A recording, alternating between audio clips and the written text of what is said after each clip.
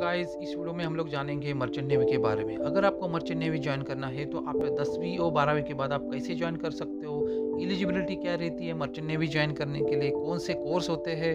Course की fees क्या रहती है रैंक और सैलरी आपको क्या मिलती है ये सारे बातें हम लोग इस वीडियो में जानेंगे। Hey guys welcome back to my channel this is Sandesh मैं आपका स्वागत करता हूँ मेरे चैनल पे। इससे पहले आप चैनल पे नए हो तो चैनल को ज़रूर सब्सक्राइब कर लेना बेल आइकन को दबा लेना ताकि नई नोटिफिकेशन आपको टाइम पे मिलती रहे। तो वीडियो स्टार्ट करते हैं और जानते हैं मर्चेंट नेवी होती क्या है और कैसे आप ज्वाइन कर सकते हो। सबसे पहले हम लोग जानेंगे मर्चेंट नेवी होता क्या है। बहुत सारे लोगों के दिमाग में ये सवाल होता है मर्चेंट नेवी मतलब गवर्नमेंट जॉब होता है। लेकिन मैं आपको बताना चाहूँगा मर्चेंट नेवी गवर्नमेंट जॉब नहीं होता है, लेकिन सेमी गवर्नमेंट हो सकता है, लेकिन प्रॉपर गवर्नमेंट जॉब नहीं होता है। मर्चेंट नेवी एक कॉमर्शियल फ़ील्ड है किसी भी देश में इंपोर्ट एक्सपोर्ट करने का काम समुद्री शिप द्वारा किया जाता है। मतलब एक देश से दूसरे देश में माल पहुंचाना या उस देश से कोई और देश में माल लेकर जाना, ये सारा काम समुद्री शिप द्वारा किया जाता है।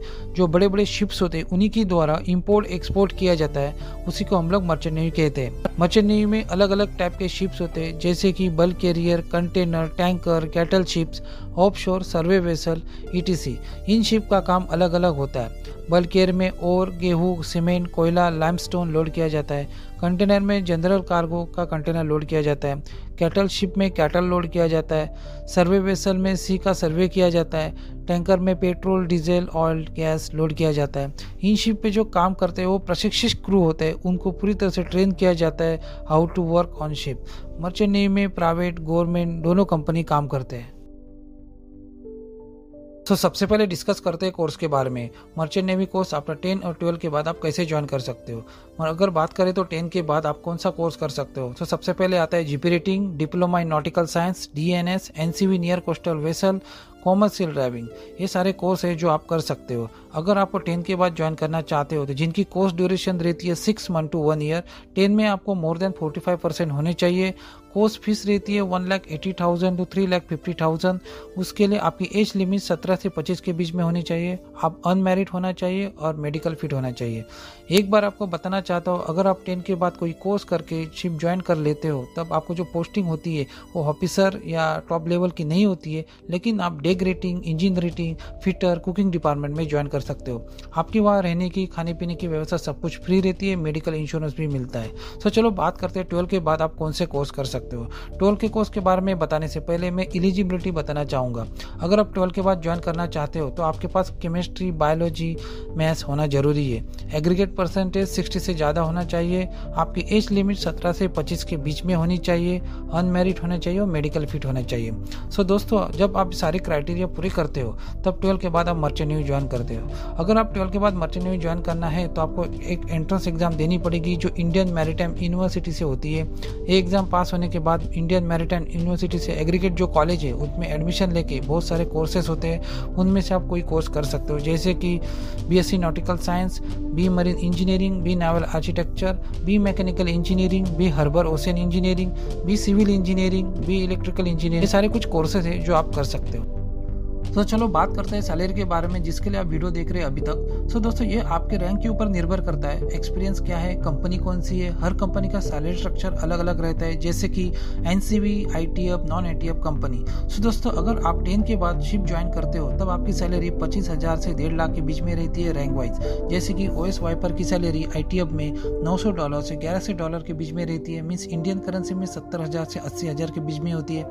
मोटरमैन की सैलरी आई टी एफ़ में ग्यारह सौ पचास से पंद्रह सौ के बीच में रहती है, जो इंडियन करेंसी में अस्सी हज़ार से एक लाख दस हज़ार के बीच में रहती है। बोसन की सैलरी अठारह सौ के बीच में होती है इंडियन करेंसी में एक लाख बीस हज़ार के आसपास रहती है। पीटर की सैलरी चौदह सौ पचास से अठारह सौ के बीच में रहती है, जो इंडियन करेंसी में एक लाख बीस हज़ार से एक लाख तीस हज़ार के बीच में होती है। सेकंड कुक को जो सैलरी जहाज़ पे मिलती है, वो नौ सौ डॉलर के बीच में होती है सिक्सटी फाइव थाउज़ेंड से सेवेंटी फाइव थाउज़ेंड के बीच में होती है। चिप कुक को शिप पे सैलरी दो हज़ार डॉलर होती है, जो एक लाख चालीस हज़ार से एक लाख फोर्टी फाइव थाउज़ेंड के आसपास शिप पे रहती है।